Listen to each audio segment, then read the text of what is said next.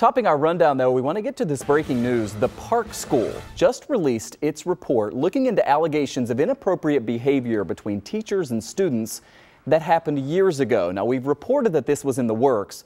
Jeff Preval just got his hands on this report and he's live now in the Information Center. Jeff, what have you learned in this short time? Yeah, hi there, Michael. A very detailed report over the last couple of years. A couple former students at the Park School came forward to report alleged inappropriate relationships between educators and students in the 1970s. Now, back in April, the Park School opened an investigation and is now releasing that report. So the school hired a local attorney who interviewed 30 people or so who shared what they saw at the school and what they heard. Now, reported to that lead investigator were stories that, according to the report, and I'm reading from it here, conduct that ranged from inappropriate but non-sexual verbal exchanges with teachers to entirely inappropriate relationships, some of which were sexual in nature. Now, the Board of Trustees really wanted to look into uh, the issues here to find out what happened in the past and try to learn from all this. We are um, reading through the entire report now and will provide updates throughout the day